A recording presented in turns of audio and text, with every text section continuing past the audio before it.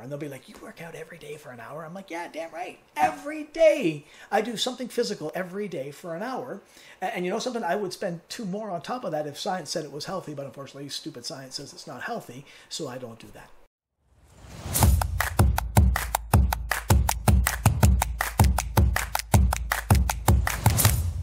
Hey team, it's Mike here at After 40 Fitness and After40Fitness.ca. I thought I'd have a little fun with this one. Let's talk about uh, 10 things that if you're not in keto, let's call them non ketonians or non Atkins people, just don't get about our way of eating. Let's have some fun with that. Okay, you ready? If this is your first time in my channel, however, or you haven't yet, please do subscribe. Uh, if you enjoy this content, talking about low carb, the keto space, the Atkins space, uh, it could be about intermittent fasting, some workouts, some HIIT style stuff. Make sure you smash that like button and do subscribe. And number one, believe it or not, is that you just can't eat what you want to eat. Oh, I know. It's so funny, eh? In fact, we have to train, think about it, we have to train our brain to like certain things and dislike other things. Uh, you can't eat this, you can't eat that, you can't eat the other. In fact, hey, listen, I'm going to tell you something. You can't have that Snickers bar.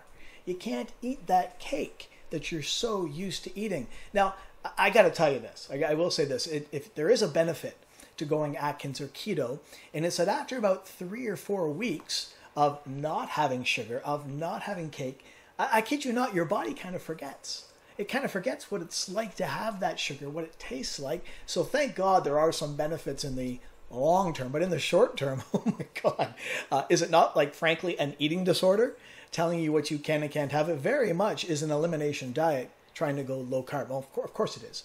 If you're going from a couple hundred, three, four hundred calories, or sorry, grams of carbs per day down to what sub 25 that's an eating disorder. Uh, in fact, you know something? I get to the point sometimes, in fact, early on in my journey, where I would like almost go into a rage that, oh my god, if you put a bucket of ice cream in front of me, I kid you not, like I'd make love to it. No, I actually wouldn't because I'd be kind of weird. But um, make no mistake, I would Jones for ice cream. Ice cream by far is my nemesis. You have yours. Uh, and you know, I got to tell you something. It really makes no sense because when I look at ice cream, what is it like? Frozen milk solids. Uh, no, it really is much more than that, isn't it? But you get my point. So um, you have to really come to terms with that keto is or Atkins is binary.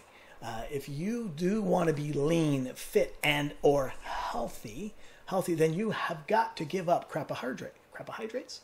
I like that word, carbohydrate. You got to give up crap. You got to give up anything that's white, anything that's processed, anything that's bleached right? White flour, white sugar being our mortal enemies. And so, uh, did you notice, by the way, that I did say if you want to be lean, fit, and healthy?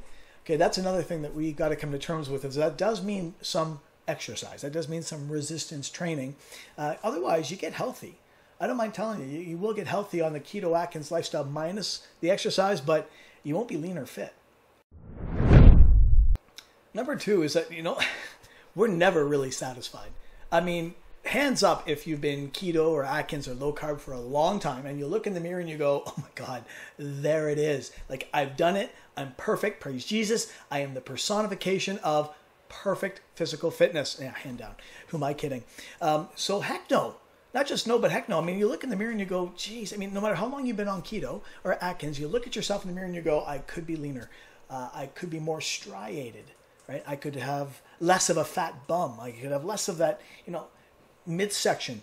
I mean, I like my leanness, and I still don't have a, an, an etched six pack, right? I like some vascularity now, you may say to yourself. And so, you know, I, I got to say, there's probably this 1%, let's call it 1% of the population who really truly reaches nirvana, right? They, they look at themselves in the mirror, they show off all the time because they've got that ideal physique, but it's 1%. And I'm going to tell you something, they're typically in their 20s, right? They typically have no responsibilities. They can live in the gym and focus on their health and fitness and do nothing else.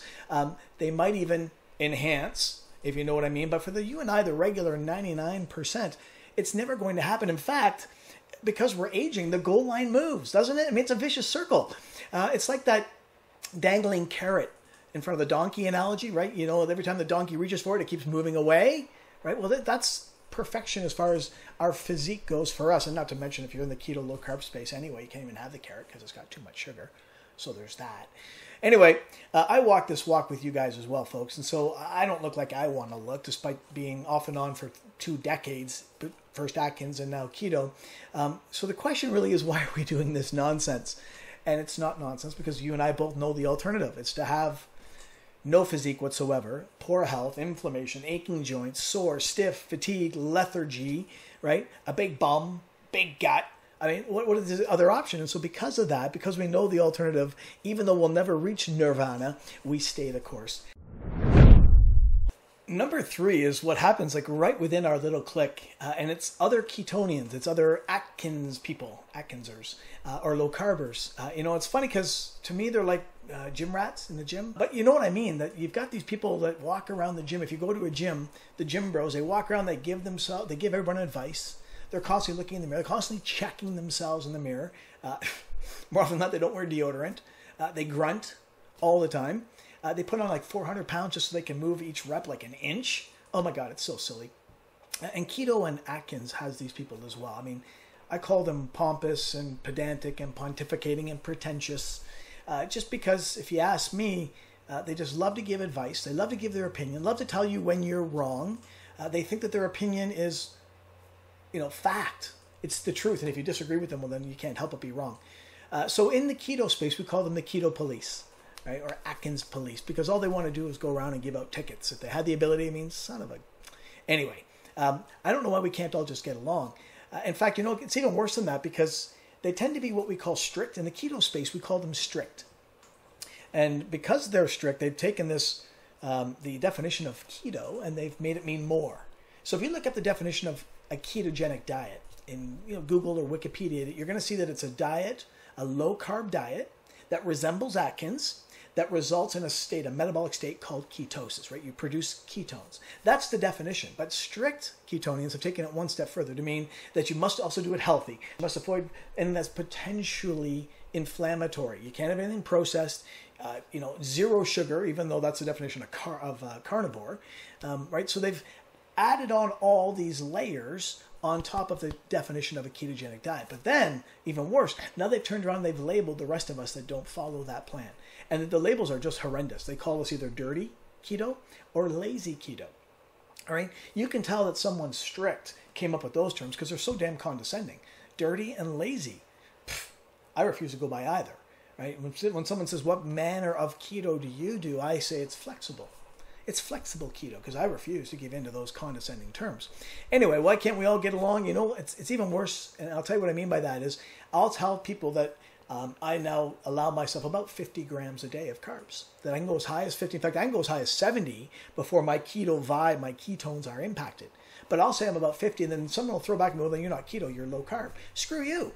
I am in ketosis. I am between 0.5 and 1 millimole every day at 50 grams. Who are you to tell me that I'm not ketonic? So stupid, right? It's ah, the mentality. But for some silly reason, a lot of critiquing goes on in that space. Okay, I wish we would just get over that.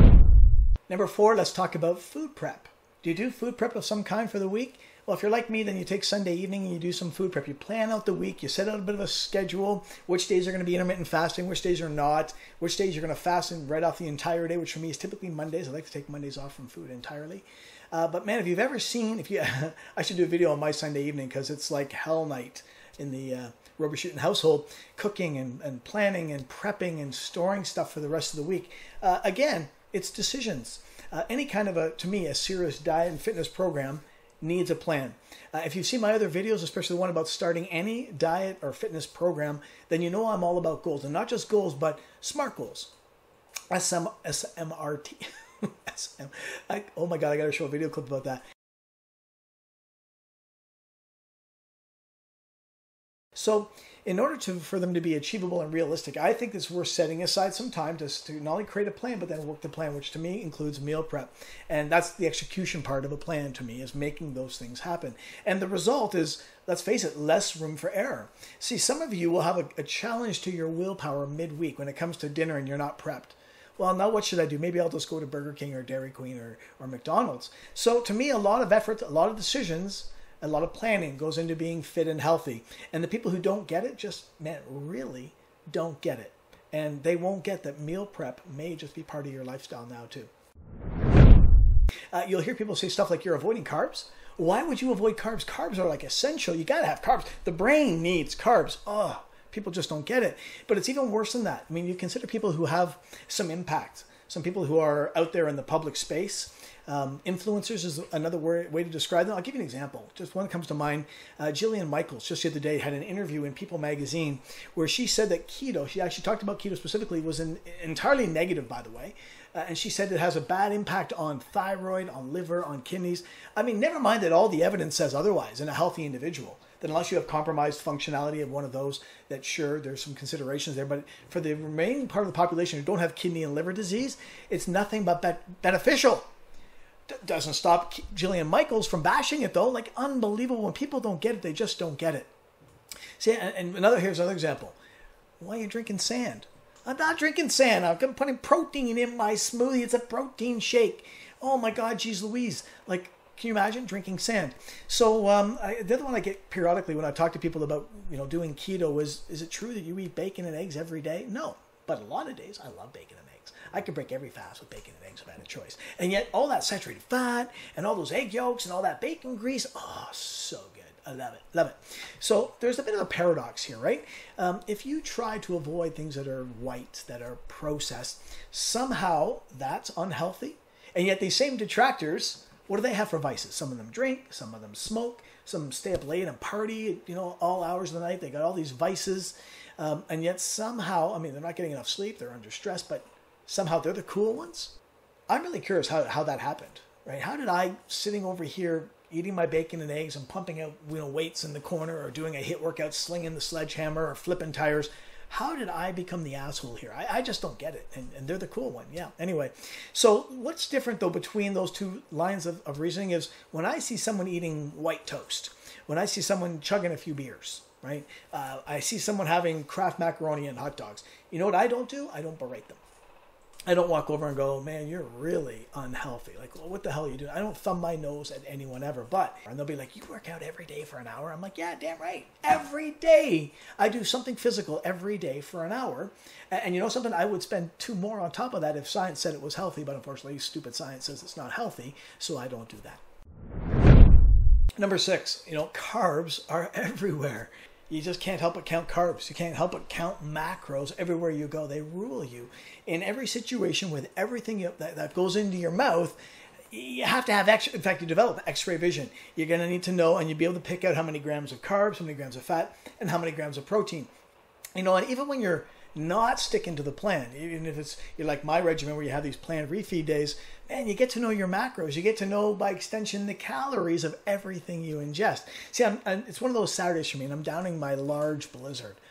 Oh, it's so good. It's delightful. It really is.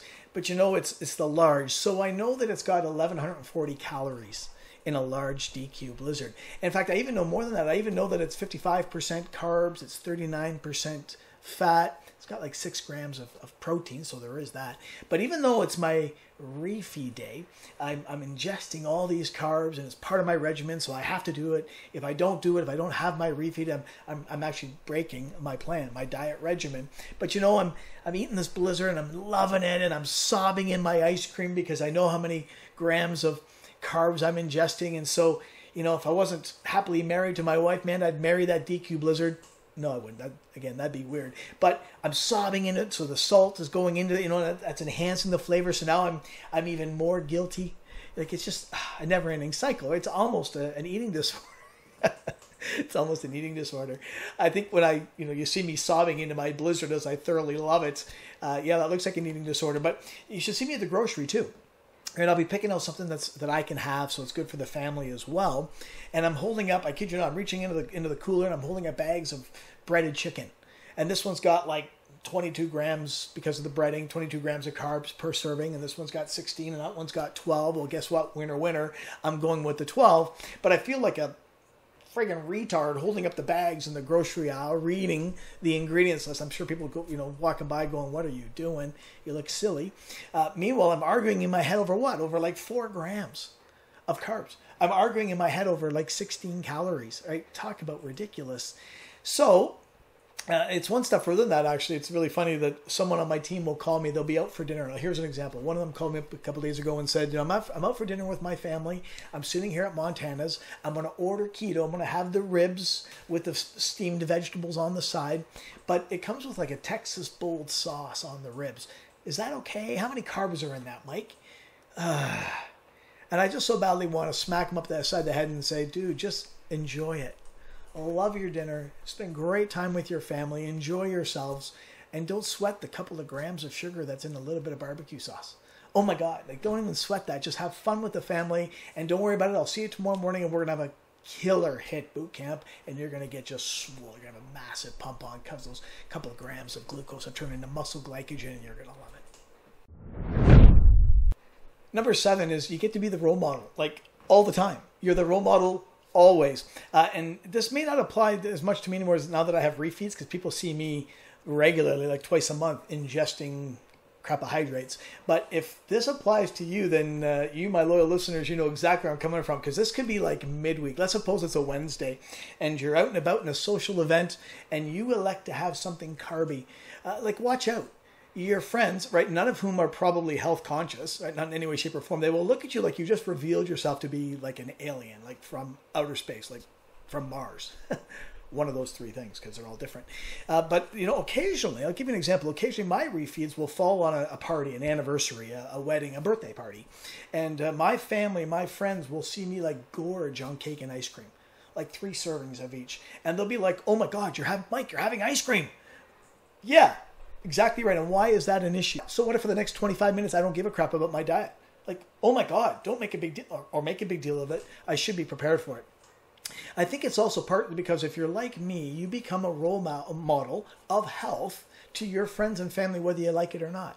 Right? Without even trying, you become like the go to person in your circle for health, fitness, keto, Atkins, low carb related questions. In which case, when people see you deviate from your plan, oh my God, then you know they somehow feel the need to make a big deal of it.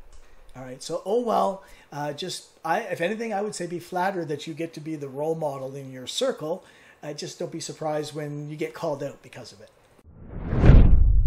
Number eight is uh, I'm going to refer to them as keto police. This kind of ties back to number three about strict ketonians, but I'm going to make a different application right now, and it's about this phrase that I love to hear keto police say that we're all different. Um, you know, we're all different. Something affects me differently than you, uh, and this is almost used like a get out of jail free card. So I'll give you an example. When I quote science, when I use a study to, to drive home a point, it could be about protein, it could be about sucralose. Here's a good example. Um, that'll come up occasionally, and I'll comment based on the science that there is zero science that sucralose and the trace amounts, right, the milligrams that are present in an ice water or a sugar free monster, that in any study ever impacts serum glucose, serum insulin, and serum ketones in those who follow ketone uh, ketosis or the Atkins way of eating. And you know, and I'll say that like in keto, in those ketotic, there's no evidence that there's an impact. The only impact ever shown uh, to have a cephalic response to sucrose, and I have a whole video on this. I'll put the link below.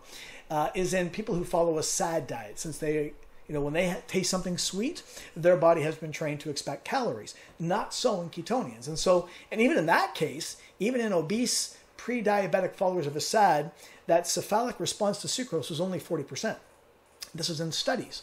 And someone, and I'll make those comments about science and studies, and some poor soul will say, Yeah, but I'm different than you, Mike. I'm different than you, my body reacts differently because everyone reacts differently to ingredients. Like such a friggin' cop out. So I'm going to clear that up for you right now. I'm going to make a, a point here that I think you'll, by the time you think about it later, you'll go, You know something? He's probably right. See, when it comes to this individuality, it pertains to impact, level of impact of a, of a substance. So for, let's stick with sucralose, right? We already established this one as kind of a baseline. So sucralose doesn't in ketonians appear to have any response ever, right? So it's not that you react differently to me. It appears that there is no response in those of us who are low carb keto.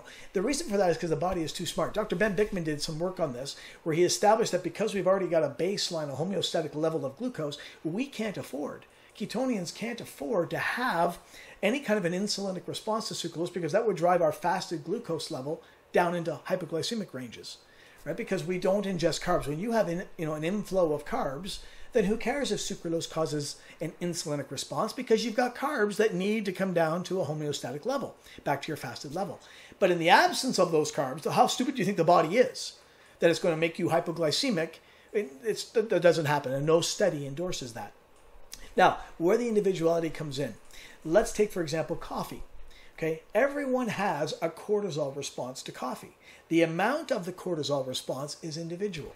Some people can ingest ice cream, and the sugar in it will take them from an example of, say, let's say, a fasted glucose of 80, and it'll take them to 140. Someone else will have a, that same amount of sugar, and their glucose will go from 80 to 210.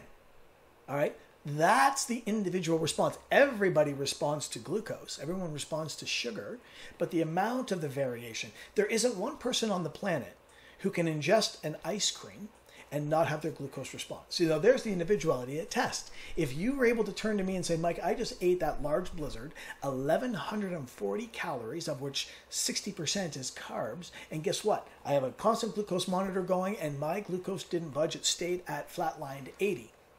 Okay, now you got a point. Now, uh, man, I love it. I love it. I will. Uh, I'll change my stance all day, every day. I will talk about epigenetics and how, oh my God, the impact is completely individual, right? Whether someone even has an impact, and that's when I talk about sucralose or I talk about too much protein, right? We have got to get thinking in our heads about our enhanced metabolic state of being ketotic. It makes such a difference. And so when people talk about this variation, I, I can't help but say, oh my God, they kiss my ass you have no idea of what you're talking about. You have no idea when you use that cop out of we're all different, we all react differently. It, yes, again, I'll say it one more time in levels of response, not in whether there's a response or not. Okay, no science proves that, none whatsoever. Uh, number nine. Number nine is that people there are people who don't think you need to move weights, resistance training to lose weight. I mean, unbelievable in 2020 with all the science showing the features and benefits of resistance training that people will still argue that you don't need to exercise to lose weight. Okay, all right, let me stop for a second because there is some truth to that. You absolutely don't need to work out to lose weight. Uh, however, as long as you're okay with that losing weight, not just being fat, but also being muscle, it's 100% true. Uh, I love to talk about this. One of my favorite topics that you do not, on any calorie restricted diet, want to lose muscle, and yet you will. And there's only two ways to prevent it. One is to up your protein to always hit your protein macro, and if not, perhaps even exceed it by 10 or 15%. But B, resistance training. You must stimulate muscle growth to at least hold what you've got, if not potentially add a few ounces or a pound a year. So this this also can reply back very quickly to finish this one off. Reply back to those strict ketonians I talked about, the keto police. See, remember I said to you that they will they will cut out foods because they're potentially unhealthy. I air quote unhealthy. Potentially unhealthy. However, no one argues that exercise isn't healthy. Everyone agrees. It is universally true that while you don't need to exercise to lose weight, that the health benefits are clear. And yet, those same people will say, no, no, no, you don't need to exercise to lose weight. You don't need to exercise to be effective in keto or Atkins. I mean, there's a word for that. Uh, help me out. What's the word for that? That's called being a hypocrite. That's hypocritical. All right, I dealt with that one. And last, number 10, I'm going to use this phrase. If you haven't heard this yet, you'll enjoy it. You'll come across it. And it's that keto isn't a diet. Keto is a way of life and or a way of eating. You may even see the acronym W-O-E, a way of eating. Uh, honestly, I call that just utter nonsense. It's it's BS. Um, I'll tell you what I mean. I'm going to show up here the definition of a diet. And you'll see that there's two definitions. Uh, number two, first of all, is a special course of food to which one restricts themselves to lose weight or for medical reasons, right? So a special course, that's when you hear the word diet. Do you not normally think of that? I'm going on a diet. I'm going on a diet so I can lose some weight. I'm going to do the keto or the Atkins diet or the paleo diet or the vegan diet. Okay, and we often in our heads think of number two. But notice number one, the kinds of food that a person, animal, or community habitually eats. All right, so habitually eats doesn't mean you're doing anything exceptional or anything out of the ordinary. In fact, do we not just call it, uh, you hear me refer to it all the time as the SAD, the standard American diet, or by extension, the standard Canadian diet?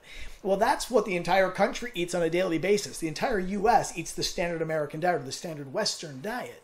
So when people lose their shit over someone using the word diet, I mean, holy Hannah, jump into any forum and talk to anyone who's a keto practitioner, particularly strict, again, we're back to the keto police mantra, uh, then they'll use the word diet. You lose, if you use the word diet, they will lose their minds. Well, then everyone loses their minds.